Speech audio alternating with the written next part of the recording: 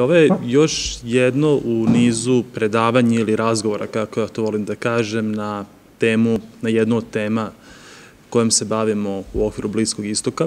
To jeste deo planete čijom recentnom istorijom, istorijom 20. veka se bavim u sklopu svoje struke. Ja mislim da je tema veoma interesantna imajući u vidu da sve ono što se dešava svakoga dana što pratimo u štampi preko medija, jedna od tih gorućih tema je Afganistan, i prosto da bismo shvatili sve ono što se danas dešava, zaista je neophodno da barem malo zagrebemo u prošlost, barem poslednje četiri decenije, kao što stoji u nazivu ove prezentacije kroz koju ćemo proći i siguran sam da će, ako ništa drugo, barem podstaknuti vas na diskusiju, razgovor o određenom pitanja.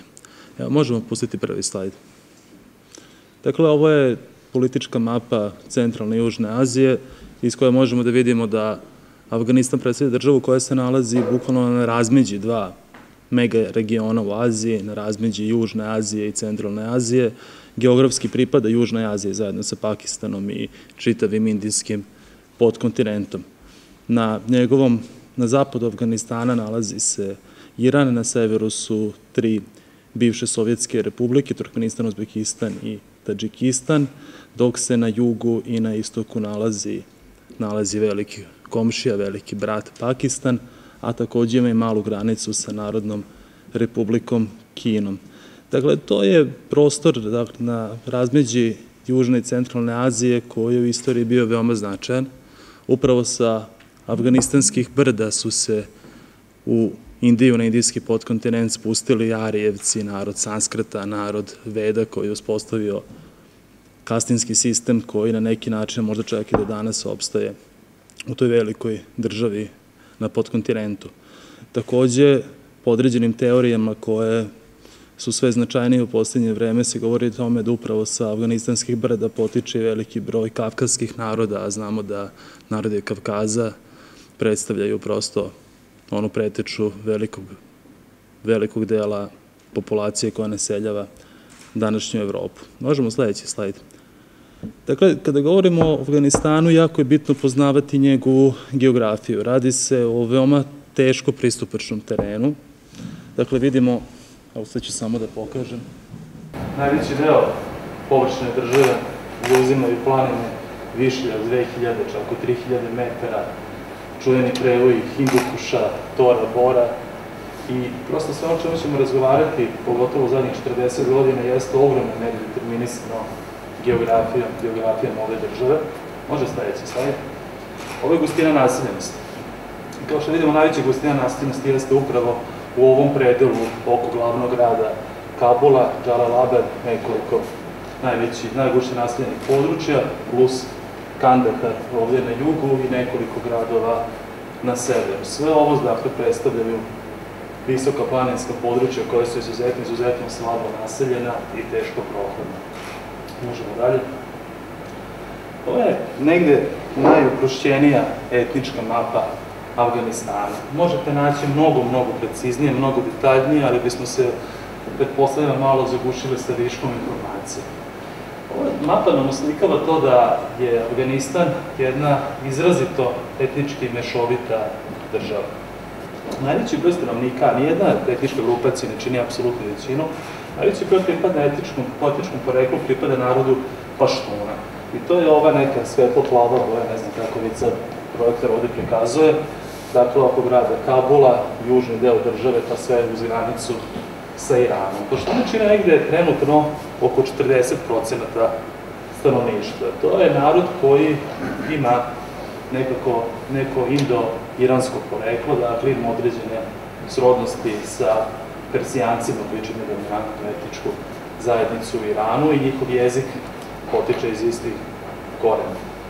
Interesantno što se tiče paštuna i tome ćemo razgovarati još večeras, jeste da oni čine relativnu većinu unutar Afganistana, koji broji negde oko 33 miliona stanovnika, iako ih ima manje od 15 miliona u samom Afganistanu. Dok sa druge strane granice u Pakistanu živi oko 30 miliona paštuna, dakle duplo više, ali u moru od preko 170 miliona stanovnika Pakistana ne čine dominantnu zajednicu kao što to čine u samom Afganistanu. Druga etnička zajednica po brojnosti, dakle, govorim 40 procenata paštuna, drugi su Tadžici, to su ova žuta područja. Tadžici, što je nekada bio pogrdni naziv za Persijance, a koji je kasnije, početkom 20. veka, opšte prihvećen, što vam samo govori da su Tadžici isto što i Persijanci, odnosno Iranci. Jezik kojim govore Tadžici je apsolutno međusobno razumljiv sa persijskim jezikom koji je zvaničan jezik u Iranu. I možemo reći da, sto, da shodno tome što paštuni govore jezik koji je relativno srodan, persijskom plus tađici koji govore persijski kao takav, da je upravo persijski neka vrsta lingva franke na području Afganistana. Dakle, književni persijski jezik jeste jezik koji svi barem malo razumeju i sa kojim mogu da se donekle sporazumevaju. To se pokazalo i danas kada imamo ovu veliku izbjegličku krizu koja je eskalirala s jeseni 2015. godine, kada su pored prevodilaca za arapski jezik najdraženiji, boga mi kod nas u Grčkoj i Makedoniji, upravo prevodioci za farsi, za persijski jezik, jer svi ljudi koji dolaze u tim kolonama izbjeglice iz područja Afganistana, bare malo razumeju persijski jezik. Dakle, pored 40 procenata paštuna, oko 25 procenata tađika, imamo još dve relativno brojne etničke grupacije, to su Uzbeci, to je ova ovde boja, jedan od ogranaka prototurskih naroda koji ima svoju etničku državu u Uzbekistanu i za nas, narod za nas egzotičan naziva Hazarejci koji se nalaze upravo ovde u centralnom području. Oko desetak, nešto ispod 10% Uzbeka i nešto ispod 10% Hazarejaca. Narod Hazara, mi, ga, mi koristimo naziv Hazarejci da se ne bi prosto mešali sa drevnim Hazarima, kakarskim narodom, jer nije u pitanju, nije u pitanju isti narod. Možemo na sledeći slajd. Govorio sam o poštunima, dakle, ovo je područje sa ovom tamnijom narodnostom bojom koje naseljavaju paštuni, kao što vidimo to su delovi Afganistana, ali i delovi Pakistana. To je jako značajno znati, prosto je, kada budemo govorili o kretanjima migratorima koje su se dešavale u poslednjim decenijama, znamo da vidjet ćemo da su se mnogi pripadnici istog naroda prilično slobodno kretali između, između te dve države, da su prosto to područje gde je granica gotovo i da ne postoji. Možemo sledeći slajd. Crvena linija. To je granica koja i dan danas postoji između Afganistana i Pakistana, ali su zelenom bojom označeni paštuni. Kao što vidimo, ta granica steče srce etničkog prostora paštuna. Ko je prisustvao nekom od mojih predavanja, verovatno će se setiti da sam isto tako pokazivao jednu granicu koja se zvala, koju zovemo linija Sykes-Picot, koja je povučena 1916. godine na pesku Bliskog istoka da bi razdvojila britansku i francusku zonu utica 1916. godine i koja je opstala do dan danas i čini granicu Sirije sa Jordanom, Iraka sa Sirijom i tako dalje. Jedna druga, prilično proizvodno povučena linija, negde 1890. godina, nazvana po Mortimeru Durandu, britanskom diplomati britanskog rađa u Indiji, i do dan danas ostala granica između Afganistana i Pakistana. Neću se prerećivati detaljima, drugi, drugi englesko-anglo-afganistanski rat, koji se završio na taj način da je Afganistan postao zavisna kneževina u britanskog rađa, poluautonomna, i gde je povučena granica između teritorije pod apsolutnom britanskom kontrolom i polonezavisnog Afganistana. Nakon trećeg anglo-afganskog rata 1919. godine, nakon prvog svetskog rata, je Afganistan dobio punu država nezavisnost, ali je uz vrlo neznatne korekcije ta crvena linija, Durandova linija, ostala međunarodna granica. Sad, nakon sticanja nezavisnosti 1919. godine, Afganistan, društvo Afganistanu, pre svega predvođeno svojim liderima, svojim elitom, pokušava da se na neki način ugleda na Tursku republiku i da krene u pravcu ubrzane modernizacije. Može sledeći slajd. I ovo je karakteristična fotografija Zahir, Mohamed Zahir, sa leve strane afganistanski kralj, koji je vladao puni 40 godina, od 1933. do 1973. zajedno sa prepoznate Kennedy, naravno, čuvena fotografija iz automobila, ima ih još, meni se ova svidela. Mohamed Zahir pokušava da ubrzano modernizuje, westernizuje Afganistan, da prosto sve one tekovine, na primer, koje je Kemal Paša Ataturk primenio u Turskoj, da primeni u svojoj državi. Međutim, otpore tome su bile dosta velike. Može sledeći slajd. Da, ovo je jedna mala digresija, kažem, da je Zahir vladao od 33. do 73. godine, stupio na predstav sa svega 19 godina, 73. opera, pričat ćemo malo kasnije o tome. Interesantno, ovo je fotografija sa ustoličenja Karzaija za predsednika, zvaničnog predsednika Afganistana 2004. godine. Vidite ko sedi, Mohamed Zahir. Zahir sedi tu, jer posle 2001. godine, posle američke intervencije invazije na Afganistan su ga doveli nazad da posluži kao nekakva častna figura koja će dati legitimitet nove vlasti. Poživeo je još nekoliko godina, dobio najviša moguća državna priznanja, ali se nije kao monarh vraćao na vlast. Možemo sledeći slajd. Evo su neke fotografije iz Kabula 1960. godine. Naravno, da, da, naravno da ovo ne predstavlja jedinu realnost u Afganistanu 60. i 70. godina. Ovo je jedna od slika Afganistana koje su postojale. Ali činjenica da ono sve što će kasnije doći je učinilo nemogućim da ovakve slike više postoje. Prosto da oslikamo tu težnju ka modernizaciji i westernizaciji koja je u prvoj polovini 20. veka, pogotovo za vreme Mohameda Zahira, u toj državi postojala. Može sledeći slajd. Nakon svrgavanja Zahira 73. godine dolazi do prilično haotične situacije u zemlji. Za nekoliko god, godina imamo nekoliko vojnih pučeva, udara, nasilnih smena vlasti, i da bi negde 79. godine za predsednika bio izabran komunista. Veoma brzo, svega nekoliko meseci kasnije, dolazi do pokušaja novog udara, njegove smene sa vlasti i u igru ulaze Sovjeti koji vojno intervenišu kako bi spasili mlad, nedavno uspostavljen nekoliko meseci star komunistički režim u Kabulu. Znači, decembra 79. dolazi do sovjetske intervencije. Sad imajući vidu ono geografiju o kojoj smo pričali, kako taj Afganistan izgleda, sve ono što ga u tom smislu determiniše, Rusi su, Sovjeti su relativno lako uspostavili, uspostavili vlast nad glavnim drumskim komunikacijama.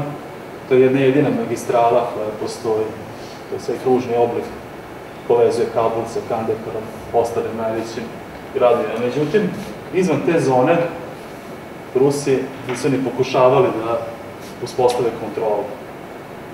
Postoje naravno taj air bridge, odnosno vazdušni most između Sovjetskog saveza i Kabula, kojim je dopremana ogromna, ogromna količina vojne tehnike, ali kao što znamo, takav vid transporta je izuzetno, izuzetno skup izuzetno zahtevno. Sovjeti će ostati u Afganistanu punih 10 godina, od 79. do 89. godine. I sve ono što se dešavalo tokom takozvanog sovjetskog rata u Afganistanu je u ogromnoj meri uticalo na formiranje današnje bezbednostne i političke slike, ne samo u Afganistanu, već širom Bliskog istoka. Zašto? Pa, upravo početkom 80. godina Američka centralna obaveštena agencija CIA pokreće svoju najveću operaciju u tadašnjoj istoriji, operaciju snabdevanja oružjem i obučavanja muđahedina, koji su ispoljavali otpor prema sovjetskoj invaziji, koji su se borili za proterivanje Sovjeta iz Afganistana. Ne radi se tu samo o domicilnom stanovništvu, ljudima koji su to smatrali svojom patriotskom dužnošću, već dolazi do možda prvog masovnog džihada u 20. veku, dolazi do pojave hiljade i hiljade dobrovoljaca iz arapskog sveta, najviše iz Saudijske Arabije, ali i Sudana, Jemena, Sirije, Iraka i tako dalje, koji u dobrovoljačkim odredima dolaze da se kao mučehedini bore protiv nevernika, protiv velikog carstva, ateista, kako su ga, kako su ga zvali protiv Sovjetskog savjeza. Može sledeći slajd. Ovo su neke od fotografija tih muđahedina. Prepoznajete naravno isti lik na ove tri fotografije. Mlada zvezda u usponu, vlasnik veoma bogatog industrijalca, vlasnika nekih od najvećih građanskih kompanija u Saudijskoj Arabiji, tada još relativno mlad, Osama Bin Laden, se pojavljaju kao jedan od najvažnijih nosilaca pokreta Mujahedina 80. godina u Afganistanu. Ovo je fotografija iz Bele kuće, predsjednik Ronald Reagan, mislim da je 83. godina, prima neke od lidera pobune Mujahedina u Afganistanu. Šta je bitno reći? Dakle, jasno je da 80. godina nastaje ono što ćemo kasnije zvati Al-Qaidom. Bitno je da, i to ću pročitat ću vam jedan citat možda, možda sad vam pročitam prvo citat koji ću nastaviti. Jako interesantna stvar. Dakle, da se radi o najvećoj operaciji CIA, to nije moja ocena, o tome je već dosta pisano. To su stvari koje su već prilično poznate i u akademskoj i opšte javnosti. Ja ću vam samo navesti neke podatke iz ispovesti knjige memoara brigadnog generala Muhameda Jusufa. Radi se o čoveku koji je bio brigadni general, jedan od vodićih ljudi u pakistanskoj obaveštenoj službi, odnosno u okviru ISIA, pakistanske obaveštene službe, je vodio afganistanski biro. Čovjek koji je operativno radio snabdevanjem, oružanjem, finansijsku pomoć i sve za sve frakcije, praktično sve frakcije muđahedina u Afganistanu. Četiri godine je bio na čelu afganistanskog biroa, dok se nije sporečio sa svojim predpostavljanjem, ne bio razrešen. I on tu navode neke podatke, vrlo kratko. Kaže, za četiri godine 80.000 muđahedina je prošlo kroz tajne kampove Isija, stotine hiljada tona oružje i municije podeljene. Glavnu ulogu u ciljnoj operaciji imao čovjek kojeg je Jusuf video lično nekoliko puta organizovao njegove posete Islamabadu, njegove posete na terenu koje je sprovodio. Radi su Williamu Casey. Neki od vas su čuli za Casey. U tom momentu William Casey je glavni savjetnik predsednika Regana u oblasti obaveštenog rada, direktor Centralnog obaveštenog biroa pre Komitetu za nacionalnu bezbednost, predsednik obaveštenog komiteta Sjedinih država i direktor CIA.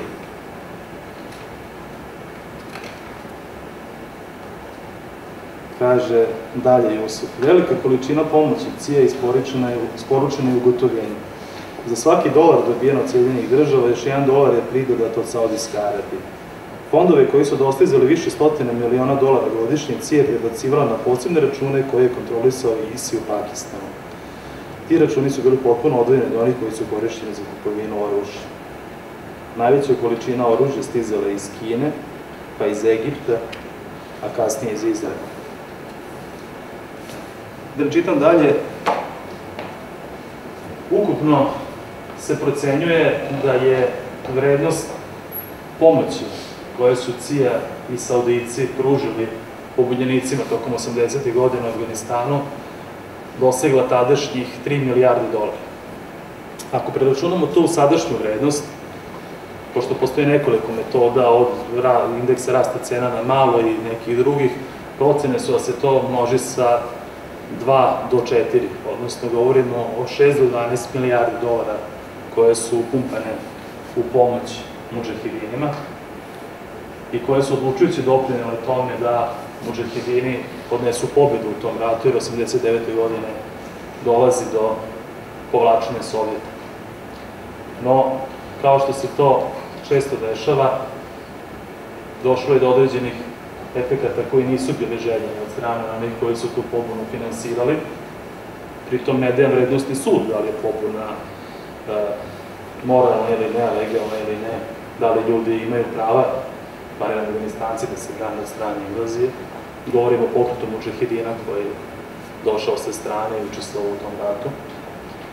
Jer ono što će kasnije biti nazvano Al-Qaida na čelu sa samom Bin Ladenom je pobedu nad Sovjetima u Afganistanu smatralo u tolikoj meri značajno da u više navrata u svojim govorima, tekstovima, sam Bin Laden, Zavahiri, njegovi sredbenici govore o tome da je Sovjetski savez, da je ateistička ždaja, ateistička imperija u Afganistanu slomila zube i da se nakon toga raspala. Oni su sebi pridali toliko na značaju, muđahidini iz Al-Qaide, da veruju, da su bili duboko ubeđeni da su oni razbili Sovjetski savez uz Allahovu pomoć i da je sada im preostalo da sruše drugu veliku imperiju, da sruše Sjedinjene američke države. U ulozi same Bin Ladena u ratu 80-ih postoji još jedan jako važan podatak, a to je da uz sav novac koji je on kao naslednik veoma bogate familije posjedovao, uz veliku harizmu, pa čak verovatno i talent za vojnu taktiku i sve ostalo, da je veoma važno to što je bio izdanak familije koja je kontrolisala građevinski biznis, jer najmanje polovina uspeha koja je postigao je uspeo da ih postigne ne zahvaljujući oružju i novcu, već zahvaljujući građevinskoj operativi koju je doneo u sam Afganistan. Videli ste kakav je teren, pričali smo na početku u geografiji, upravo veliki deo građevinske operative, bageri, eh, odredi minera i tako dalje su omogućili da sprovodi velike operacije, buši tunele, prokopava, zatrpava i tako dalje i da prosto na taj način uspe da parira ozbiljna vojna nadmoći Sovjeta, pogotovo nadmoći u vazduhu. U planjena motora Bore je bušio tunele u kojima je skrivao čitave, čete svojih vojnika. Možemo dalje. Do 89. se Sovjeti povlače iz Afganistana, ali i dalje materijalno i finansijski još tri godine potpomažu komunistički režim koji pokušava neuspešno da se nekako reformiše, da obstane na vlasti, ali 92. godine dolazi do kolapsa tog režima i Afganistan opet ulazi u jednu fazu nestabilnosti. Nove vlasti pokušavaju da se nekako operu od ključne uloge koje su muđahidini imali u pobedi koja je odneta u ratu. S druge strane, pokušavaju da uspostave neku vrstu kompromisa sa umerenijim elementima prosovjetskog režima, da naprave dogovor sa njima i u sklopu svega toga žele da se kako god je moguće otara se džihadista mužahedina sa svoje teritorije i na jedan diskretan način se uskraćuje gostoprimstvo Bin Ladenu i njegovim sledbenicima. Oni traže svoje utočište u drugim arapskim državama, nalaze ga isprava u Sudanu. U Sudanu Omara Bašira, u Sudanu Hasana El-Turabija, ideologa, džihadista, koji upravo tih 90. godine, 93. 4. 96.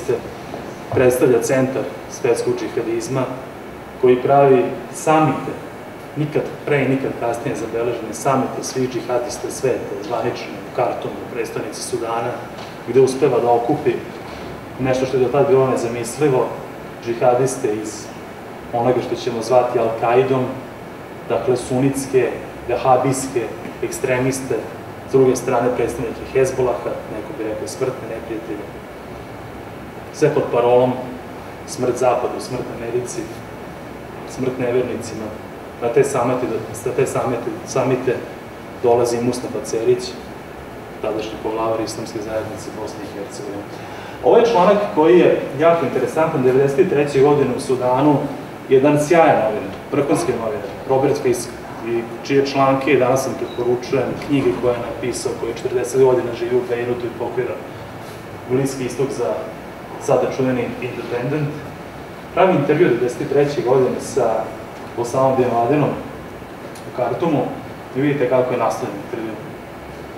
Antisovjetski ratnik stavlja svoju armiju na put mira, u funkciju mira zato što Bin Laden se predstavlja kao neko ko je završio sa ratovanjem, ko ima svoje bagere, građevinsku operativu, ko će da gradi najvažnije infrastrukturne projekte u Sudanu, Omar El Bašar i Hasan El Turabi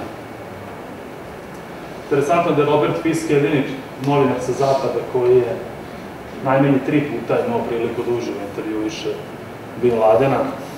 Zadnji put je to bilo kada se ponovo vratio u Afganistan. U svojoj knjizi čak tvrdi da ga je vrbovao da se stavio u službu Al-Qaida. 96. godine u Afganistanu dolazi do potpunog preokreta i talibani preuzimaju punu vlast. Sada da se pitate ko su ti talibani, odakle se oni pojavljaju. Pa, ako se vratimo nazad na onu sliku koju ste zapamtili narodu Paštuna koji živi sa obe strane granice. Granice koja ne postoji, granice koja nije granice kako mi danas zamišljamo. To su brda, to rabore, to, to su predeo gde ne postoji granični kamen 50 km udaljenosti. Gde taj narod nije nikako fizički razdvojen. 80. godina veliki broj paštuna, veliki broj ljudi, pripadnika tog naroda, beži od rata u brda severnog Pakistana. Mnogi od njih šalju svoju decu tamo da ih sklone od ratnih dejstava. I ta deca u tim izbržličkim kampovima, improvizovanim, su prepuštena ekstremnim verskim školama. Bivaju zadojeni ekstremnim oblikom islama, džihadističkog islama. I upravo Taliban je množina od talib. Talib znači student, učenik, Taliban znači studenti ili učenici. Naziv njihovog pokreta učenici, studenti, govori o tome da su svi prošli te ekstremne verske škole na severu Pakistana. I oni dolaze kao spasonosno rešenje nakon stabilnosti među 92. i 96. godine, pojavljuju se i preuzimaju vrlo lako i vrlo efektno vlast u Afganistanu, nad većim delom zemlje. Jedino im pruža otpor takozvana Severna alijansa u severnim delovima države, ali tu postoji jednički moment, to činili su je uglavnom Uzbeci, nešto Tadžika i tako dalje. A o tome da talibani dolaze iz Pakistana govori i glavna parola njihovih protivnika koji su upotrebljavali da su talibani stranci, ne dajte našu zemlju strancima. Čisto znate da postoji taj moment. Možemo sledeći, slaviti. Talibani 96. preuzimaju vlast na gotovo čitavim Afganistanu, pozivaju nazad Osama Bin Ladena i Al-Qaidu da im se pridruže sve stare saveznike, pruže im utočište, da su to utočište izgubili pod pritiskom Amerike i u Sudanu i u Saudijskoj Arabiji. Oni se vraćaju, Al-Qaida se vraća na mesto na kojem je nastala i odande iz brda Hindukuša i Tora Gore se organizuju najspektakularniji teroristički napad možda u istoriji čovečanstva. Dakle, napad na pojedne znakinje, Pentagon i sve ostalo u Americi 11. septembra 2001. godine. Može sledeći slajd. Već u oktobru, dakle mesec dana kasnije, dolazi do američke vojne invazije. Ovo su scene koje svi sigurno dobro znate iz medija, ali dešava se ono što se u poslednje vreme veoma često događa Sjedinim američkim državama, to je da relativno lako dobijaju u ratu, ali prilično efikasno gube u miru. Kao i Sovjeti, nekoliko godina ranije, oni uspevaju da uspostavi kontrol nad Kabulom, nad glavnim komunikacijama, ali sa 100 ili 200 hiljada vojnika u svojoj koaliciji nemaju kapacitet da drže čitavu teritoriju, ogromnu teritoriju, brdsku teritoriju države sa preko 30 miliona ljudi. E sad ima tu još jedna stvar koju moramo da razmotrimo. Svesno da ćemo možda ući malo u, u, u domen konspirologije, ali ja neću davati vrednostne sude. Samo ćemo izdati neke podatke, a vi izvucite svoje zaključke. Može sledeći slajd. Polja maka. Pre američke invazije, Afganistan je bio mesto gde se proizvodilo 75% kompletnog ukupne proizvodnje opijoma na planeti. Znate da je opijom substanca od koje se pravi heroin, on se prikuplja na poljama maka, tako što se ove nakone čaure se zarezuju, skuplja se ta smola, pravi se opijom, od njega se sintetičkim putem pravi heroin.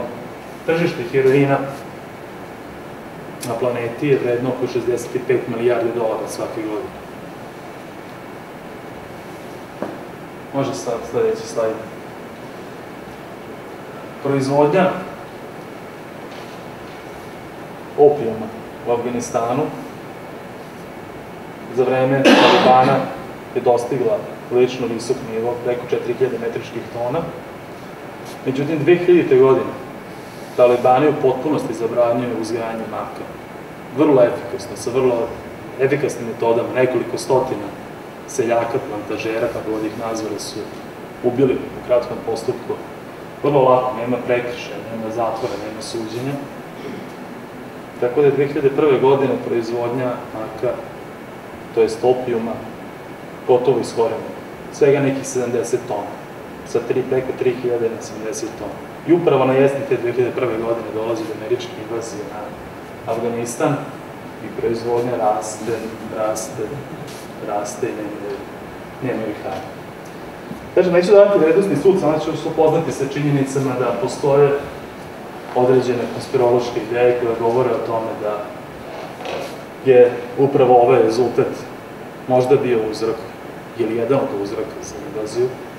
Postoje i kontrateorije s druge strane koje govore o tome da su berbe 99. i 2000.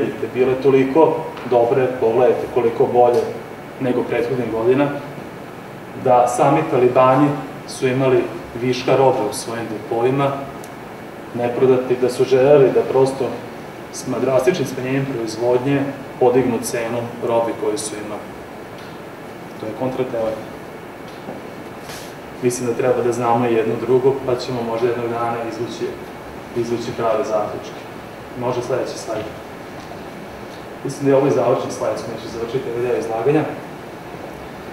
Naime, američka armija izvršila invaziju 2001. godine, uspostavila kontrol nad glavnim komunikacijama, uspela da potera ostatke Talibana daleko, daleko u provinciju, daleko u brda, ali s obzirom da je uspela da se uspostavi efikasna vlast, da Karzajeva vlast je prosto odisala korupcijom, najbliži članovi njegove familije su zarađivali stotine miliona, verovatno bili umešani trgovinu opijom i sve ostalo.